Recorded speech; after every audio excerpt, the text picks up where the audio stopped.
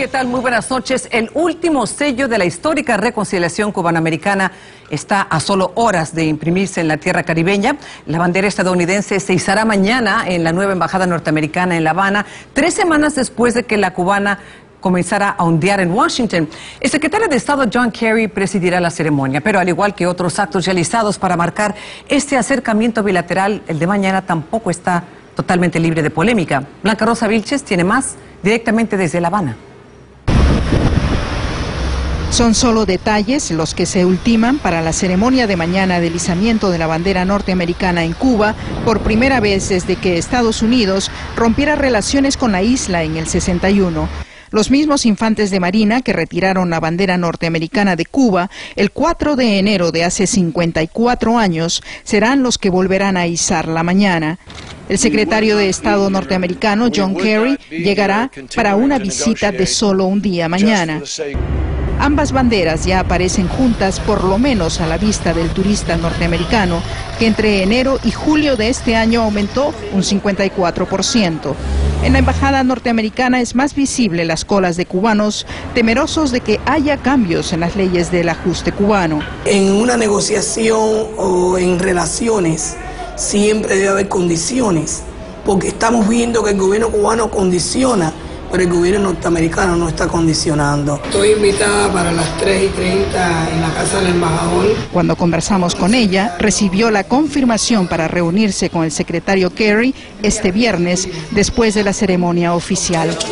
Hoy también, en el día en el que Fidel Castro cumple 89 años, publicó en el Grama una columna en la que señala que Estados Unidos le debe a Cuba varios millones de dólares debido al embargo económico hacia la isla. No, no, no, yo vivo en Miami. Airbnb es una de las empresas que buscan espacio de oportunidades económicas. Una embajada norteamericana en La Habana podría ofrecerles cierta tranquilidad a empresas interesadas en invertir en Cuba. Al final que se vaya normalizando el viaje de un americano a Cuba es buenas noticias para ambas comunidades. Y los propios cubanos buscan una versión casera de alquilar un cuarto a los visitantes. Irma Fernández está remodelando su apartamento para alquilarlo por el día.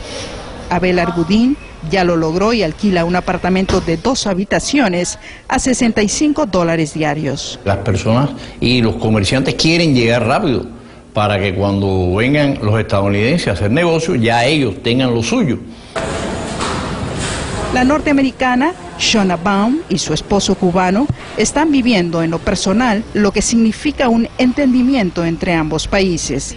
Él regresó a Cuba después de vivir cuatro años en San Francisco.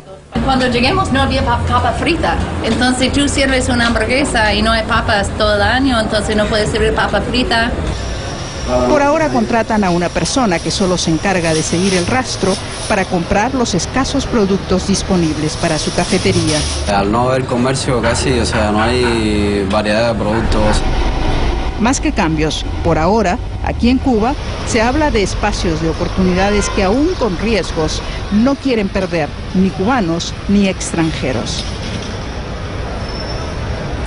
En reiteradas oportunidades, tanto Cuba como Washington han señalado específicamente que este va a ser un proceso difícil, pero sobre todo un proceso bastante lento. Con la reapertura de ambas embajadas el 20 de julio y el izamiento de la bandera norteamericana en Cuba mañana, después de 54 años, María Elena, precisamente se va a iniciar un nuevo capítulo de este proceso porque Blanca Rosa todavía estamos enfocados en los eventos específicos de mañana eh, de la ceremonia oficial. Después de esa ceremonia, el secretario de Estado planeaba reunirse con lo que me dijo era una amplia representación de la sociedad civil. ¿Sabemos quiénes han sido invitados a esa parte de la visita? Sí, en realidad, María Elena, el arribo del secretario de Estado, como sabes, está previsto para alrededor de las 8 y 30 de la mañana y después se va a reunir, por supuesto, con Bruno Rodríguez, pero también representantes de la sociedad civil. Antes de la representación de la sociedad civil, también se encuentra el cardenal Ortega, con quien se va a reunir alrededor de la tarde y va a hacer, por supuesto, una conferencia de prensa. Y María Elena, como él te había indicado, había la posibilidad de que él saliera a pasear por las calles de La Habana. Sin embargo, en la versión oficial que nos acaban de entregar a la prensa, no figura esta visita. Él te había dicho en la entrevista que quería precisamente eso, salir a caminar por las calles de La Habana y poder tener un diálogo con los cubanos aquí. Aparentemente, lo podríamos confirmar en las próximas horas, si es que en realidad, como te había indicado en su entrevista contigo, sí se va a dar ese diálogo directo con los cubanos o no. Interesante, seremos pendientes. Muchísimas gracias, Blanca Rosa informando desde La Habana.